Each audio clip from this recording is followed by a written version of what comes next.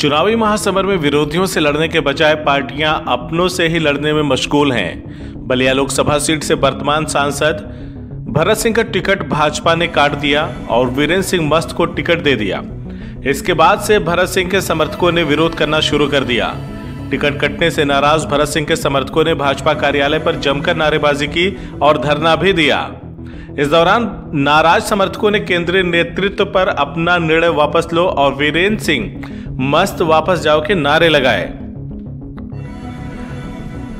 दरअसल, भाजपा ने कल देर शाम बलिया लोकसभा से वीरेंद्र सिंह मस्त को लोकसभा का प्रत्याशी घोषित किया था। वीरेंद्र सिंह मस्त भदोही लोकसभा से तीन बार सांसद चुने गए हैं। वहीं भाजपा सांसद भरत सिंह के समर्थकों का कहना है कि बलिया में हुए उपचुनाव में वीरेंद्र सिंह मस्त को पार्टी ने मौका दिया था, जिसमें उन्हें सपा प्रत्याशी नीरज शेखर के खिलाफ करारी शिकस्त का सामना करना पड़ा था। सिंह हूँ भारतीय जनता पार्टी का करता हूँ सम का स्वयंसेवक हूँ और माननीय सांसद जी के साथ क्षेत्र में काम करता हूँ।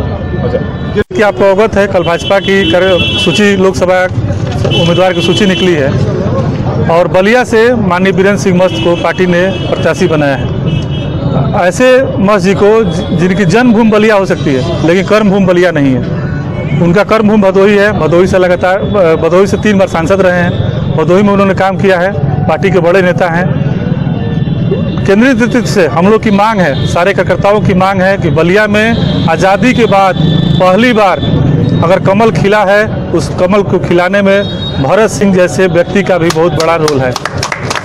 बहुत बड़े बड़े नेता हुए, जिन्होंने चुनाव लड़ा है कमल के निशान पे, लेकिन पहली बार भरत सिंह ने उस कमल को पूर्ण रूप से खिलाया है। इसमें कोई दो राय नहीं है, कहीं से मतांतर नहीं है कि उसमें बहुत बड़े, उस कार्यकर्ता की भूमिका है, जो कार्यकर्ता बाढ़ में शिक्षा के लिए, चिकित्सा के लिए सड़कों पर हमेशा संघर्ष किया है।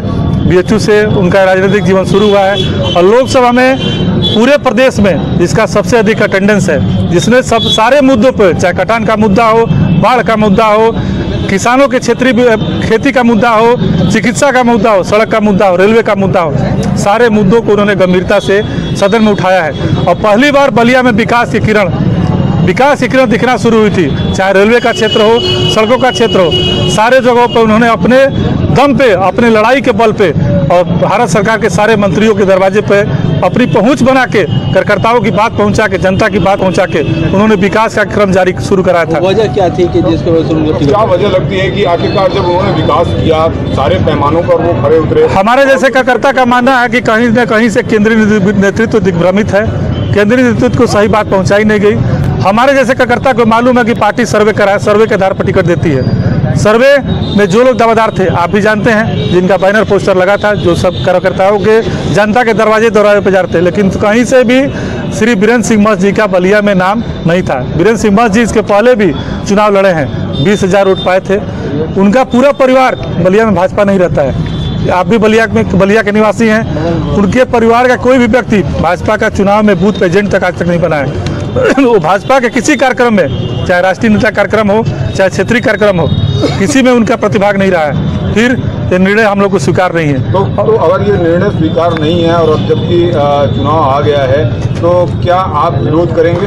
हम लोग शालीनता पूर्वक केंद्रीय नेतृत्व को बाध्य करेंगे कि अपना निर्णय बदले और भरत सिंह को पुनः उनके कर्म के बल पे उनके मेहनत के बल पे पुनः अवसर दे और भाजपा पुनः यहाँ से चुनाव जीते। कमल का चुनाव पूरी तरह से